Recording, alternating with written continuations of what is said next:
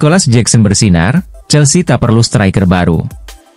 Pemain berusia 23 tahun ini menunjukkan tanda-tanda positif di awal musim dan berupaya untuk menjaga performa saat Chelsea menghadapi Brighton akhir pekan mendatang. Meski musim debutnya di Stamford Bridge sempat menuai kritik, dengan torehan 14 gol dan 5 assist di Premier League, Jackson dinilai kurang konsisten. Namun, Gary Cahill melihat bahwa Jackson mulai membuktikan kemampuannya dan memuji performanya yang semakin matang. Dalam analisisnya di NBC Sports, Cahill menyatakan kekagumannya terhadap Jackson. Dia masih muda dan masih belajar, kata Cahill. Saya suka permainannya hari ini, terutama cara dia menyelesaikan peluang, mencetak dua gol, dan berani berlari di belakang lawan. Penampilannya sangat luar biasa. Gary Cahill juga menambahkan bahwa Nicholas Jackson terlihat percaya diri dan tidak terpengaruh oleh kritik yang ada. Statistiknya saat ini sangat bagus, tambah Cahill. Selama musim panas, Chelsea sempat dikaitkan dengan sejumlah penyerang, termasuk ketertarikan pada Victor Osimhen. Namun, kesepakatan tersebut tidak terwujud, dan Osimhen malah dipinjamkan ke Galatasaray dari Napoli. Meski demikian, Cahill yakin Jackson sedang menunjukkan kepada Enzo Maresca bahwa dirinya bisa menjadi pusat serangan Chelsea untuk jangka panjang. Saat ditanya apakah Chelsea perlu mencari striker baru di bursa transfer, Cahill menjawab, masih ada perjalanan panjang, dan mengenakan jersey No 9 itu bukan hal yang mudah. Tapi dia tampil sangat baik, dan dengan pilihan penyerang yang ada seperti yang kita lihat dari bangku cadangan hari ini, Chelsea punya banyak opsi di lini serang. Jadi, saya pikir dia mampu memikul beban jersey No 9 dan memanfaatkannya.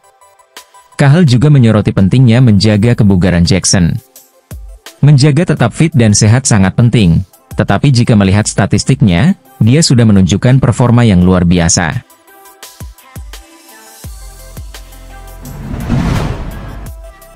Jadon Sancho tampil gemilang di Chelsea. Sancho kembali berkontribusi dalam kemenangan Chelsea atas West Ham United pada pekan kelima Liga Inggris. Bermain di London Stadium, The Blues menang telak 3-0. Sancho turut andil dalam kemenangan tersebut dengan memberikan satu assist untuk gol Nicholas Jackson. Sebagai starter, Sancho memberikan assist untuk gol pertama Jackson di menit keempat, dengan umpan dari tengah lapangan yang sukses dimaksimalkan rekannya tersebut. Ini menjadi assist kedua Sancho sejak dipinjamkan dari Manchester United, setelah sebelumnya memberikan assist pada debutnya melawan Bournemouth. Selain assist, Sancho juga memperkuat serangan Chelsea, beberapa kali aksinya mengganggu pertahanan lawan di babak pertama. Ia kemudian digantikan pada menit ke-57.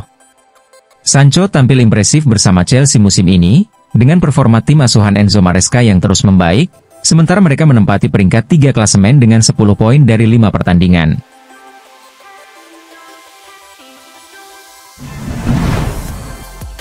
Chelsea siap lepas Axel di Sasi di bursa transfer Januari. Di awal masa kepelatihan Enzo Maresca, skuad Chelsea yang penuh dengan pemain berusaha tampil mengesankan bagi pelatih baru mereka. Namun, Axel Disasi tidak dapat ikut serta dalam upaya ini setelah menjalani operasi musim panas lalu, yang membuatnya absen selama pramusim. Back asal Prancis tersebut baru kembali bermain pada leg pertama playoff Conference League melawan Servette pada 22 Agustus. Meskipun Maresca mempercayainya, Disasi hanya bermain satu jam di Vitality Stadium sebelum digantikan oleh Tosin Adarabioyo. Setelah itu, ia tidak masuk dalam starting lineup untuk pertandingan melawan West Ham United. Dengan Wesley Fofana tampaknya menjadi pilihan utama di posisi bek kanan. Walaupun Disasi mungkin kembali bermain dalam laga Carabao Cup melawan Barrow pada Rabu, tidak dimasukkannya dia dalam laga melawan West Ham bisa menjadi tanda masa depannya di klub. Menurut laporan dari Fitch Hedges, Chelsea telah menetapkan Disasi sebagai salah satu pemain yang akan dilepas pada bursa transfer Januari mendatang. Chelsea siap menjual pemain yang dibeli seharga 45 juta euro lebih dari setahun yang lalu, yang pernah menjadi pemain andalan di bawah Mauricio Pochettino. Disasi tampil 44 kali di bawah Pochettino, tetapi tampaknya tidak akan mencapai jumlah tersebut di bawah Maresca. Pemilik Chelsea, Todd Boehly, dan Claire Lake Capital kabarnya puas dengan pengurangan jumlah pemain dan biaya gaji pada jendela transfer terakhir.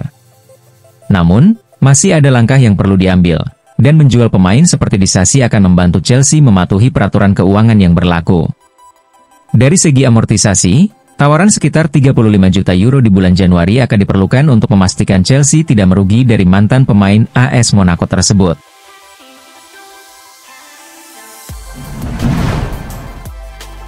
Enzo Maresca berikan update terkini tentang cedera Wesley Fofana. Wesley Fofana, yang pindah ke Chelsea dari Leicester City pada musim panas 2022, telah menghadapi serangkaian cedera lutut dan ligamen yang menghambat kemajuannya. Beck berusia 23 tahun ini baru tampil 25 kali untuk Chelsea di berbagai kompetisi dan absen sepanjang musim lalu akibat cedera ACL. Namun, di awal musim ini, Fofana telah bermain lima kali di Premier League dan mendapat panggilan kembali ke tim nasional Prancis, meskipun ia harus meninggalkan camp lebih awal bulan lalu sebagai langkah pencegahan. Ketika Fofana ditarik keluar dan terlihat berjalan dengan es di lututnya, kekhawatiran pun muncul.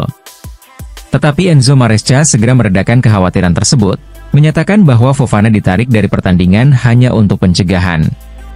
Tidak, tidak, itu bukan cedera serius, kata Maresca kepada wartawan, seperti dikutip dari Football London. Kami menariknya keluar hanya untuk memberinya perlindungan. Pada babak kedua, mereka memindahkan Muhammad Kudus ke sisi tersebut dan akan terlalu berisiko jika tetap memainkannya, tetapi tidak ada cedera.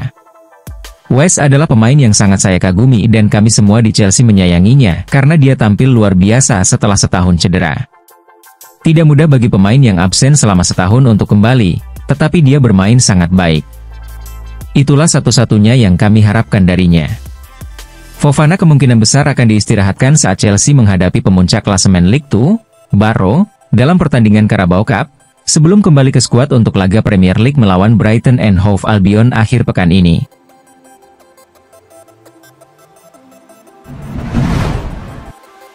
Hulen Lopetigu sangat kecewa usai West Ham dikalahkan Chelsea.